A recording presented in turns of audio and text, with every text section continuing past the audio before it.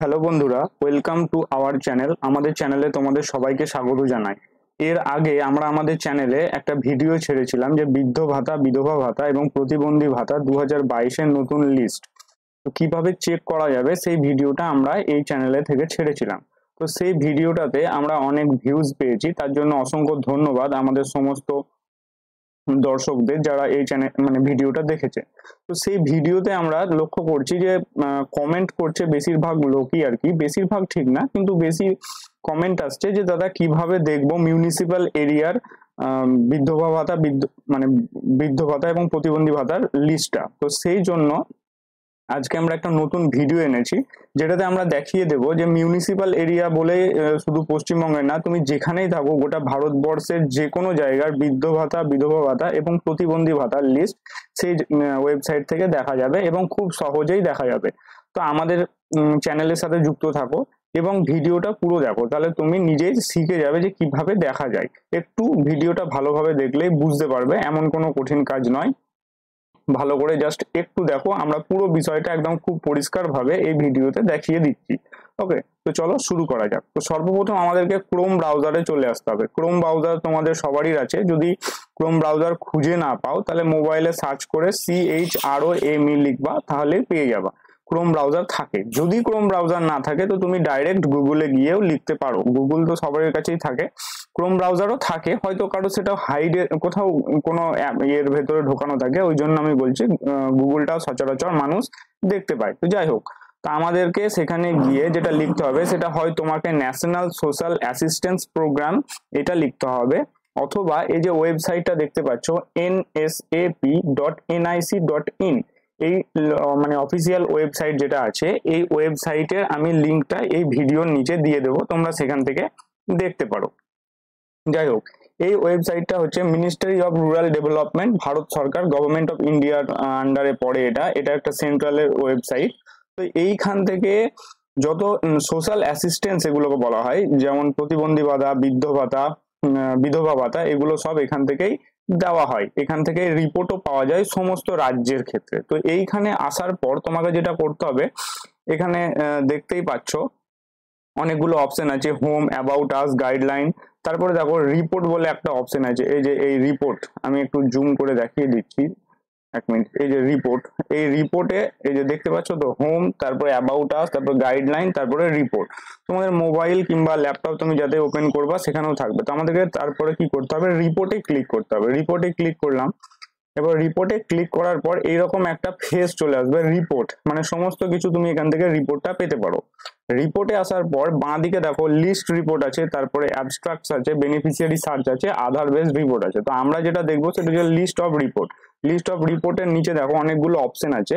একটা হচ্ছে national dashboard একটা হচ্ছে ড্যাশবোর্ড একটা হচ্ছে স্টেট ড্যাশবোর্ড একটা হচ্ছে ম্যানেজমেন্ট ড্যাশবোর্ড এবার একটু ভালো করে দেখে নেবে, তাহলে তোমাদেরও সার্চ করতে অসুবিধা হবে। আমরা যেটা করব, তিন নাম্বার অপশন যেটা আছে, আমি দেখিয়ে দিচ্ছি। এই যে তিন নম্বর অপশনটা দেখতে পাচ্ছ, যে স্টেট ড্যাশবোর্ড এইটাতে আমরা ক্লিক করব। ওকে স্টেট ড্যাশবোর্ডে আমরা ক্লিক করলাম।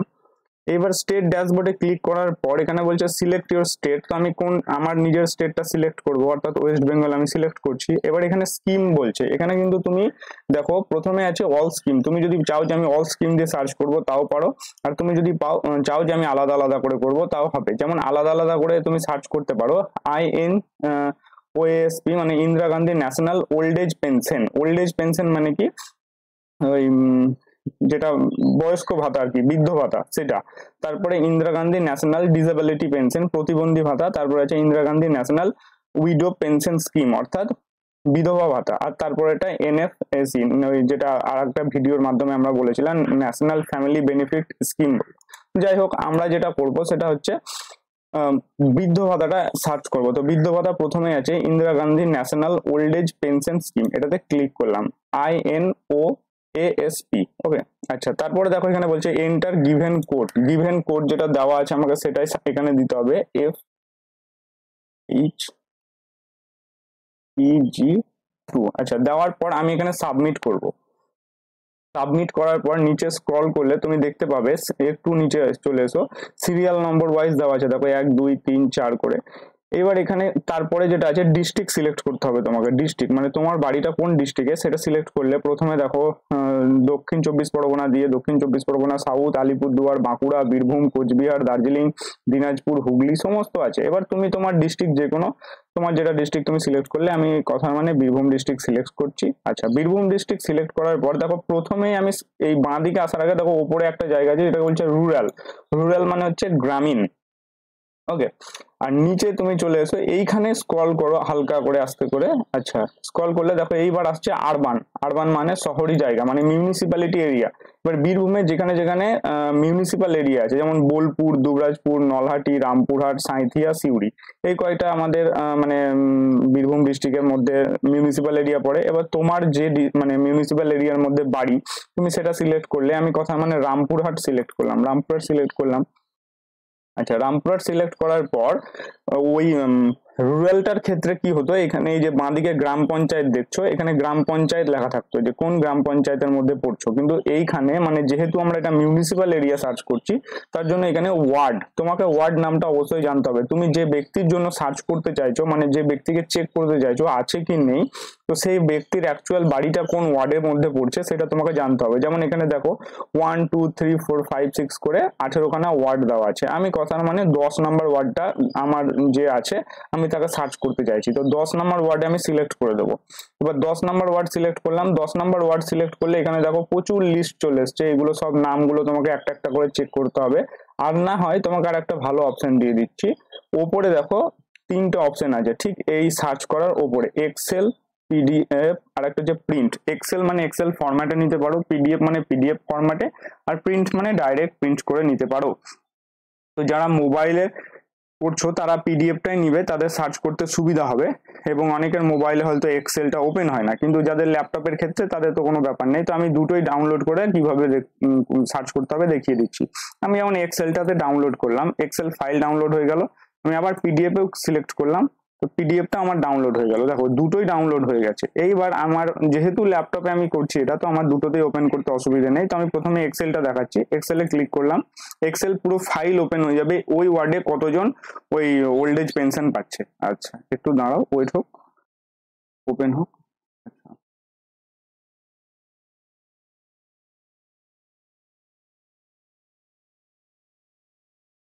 এই যে, দেখতে পাচ্ছ?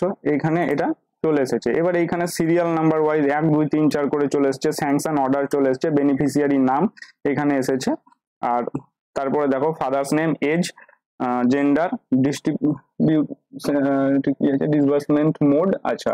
এগুলো সব চলে এসছে। আধার সিডিং কি নয়।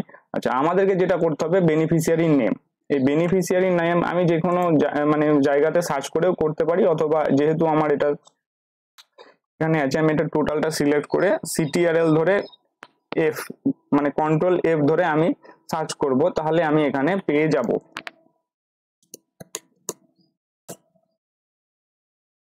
এই যে নারায়ণ চন্দ্র পাল, দেখতেই পাচ্ছ? এবার তোমরা এখান থেকে এটা সার্চ করে দেখতে পারো। আচ্ছা এই হলো এক্সেল এর কাজ এইবার আসি পিডিএফ এর। এটা আমি বন্ধ করে দিলাম। এবার যেহেতু আমরা পিডিএফটাও ডাউনলোড করেছি পিডিএফটা এইভাবে ডাউনলোড হয়ে যাবে। আবার সেই পিডিএফেও দেখবে তোমাদের মোবাইলে সার্চ বলে একটা জায়গায় অপশন থাকে। ওপরের দিকে আতস কাঁচের মতো, ওইটাই সার্চ অপশন তো আর যারা ল্যাপটপে করছ, তাদের তো কোনো অসুবিধাই নেই। তারা কন্ট্রোল এফ সিটিআরএল যুক্ত এফ সার্চ করবে। এখানে তোমাদের যেটা মানে তোমরা যেটা দেখতে চাইছো যার নামটা দেখতে চাইছো আর কি, তার নাম এখানে সার্চ করার পর, এখানে দেখো। এই যে নাম, তার ফাদার্স নেম দেখতে পাবা এজ দেখতে পাবা ওকে কিসে ঢুকছে ব্যাংকে ইয়েস ব্যাংকে লিঙ্ক করা আছে। তো এইভাবেই এটা দেখতে পাওয়া যায়। এটা হচ্ছে মিউনিসিপ্যাল এরিয়ার জন্য এবং বিশেষ করে শুধু মিউনিসিপ্যাল না, গোটা এর আগে যেটা আমরা দেখালাম মানে রুরাল এরিয়ার জন্য তুমি এটা দেখতে পারো। ঠিক আছে? তো ভিডিওটা আমরা এখানেই শেষ করছি। যদি ভিডিওটা ভালো লেগে থাকে এবং যারা জানে না যে মিউনিসিপ্যাল এরিয়ায় কীভাবে এগুলো দেখে, তাদেরকে অবশ্যই ভিডিওটি শেয়ার করো। এবং আমাদের ভিডিওটি যদি সত্যি ইনফরমেটিভ মনে হয় মানে যদি মনে হয় যে দরকার, তাহলে আমাদের চ্যানেলকে সাবস্ক্রাইব করে রাখো। এইরকম আরও ভালো ভিডিও পাওয়ার জন্য। ধন্যবাদ ভিডিওটি দেখার জন্য।